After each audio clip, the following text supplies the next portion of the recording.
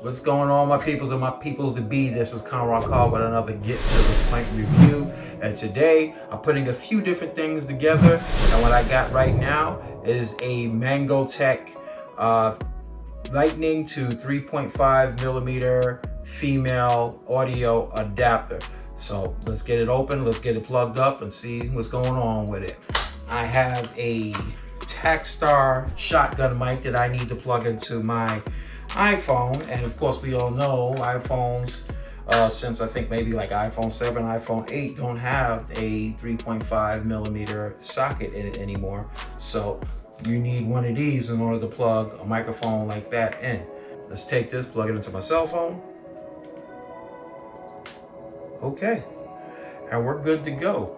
Let's see, what I like here is that on the phone, it's going up, it's not poking out. So once the cord goes in, it's tucked inside. So it keeps everything neat, keeps it out the way. If it's poking out like that, it would be near my fingers when I'm, you know, grabbing this cage.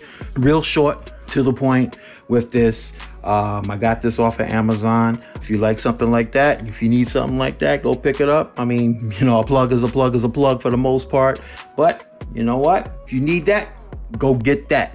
This is Conrad Carr from the Get to the Point Reviews. Till the next time, my peoples. Peace.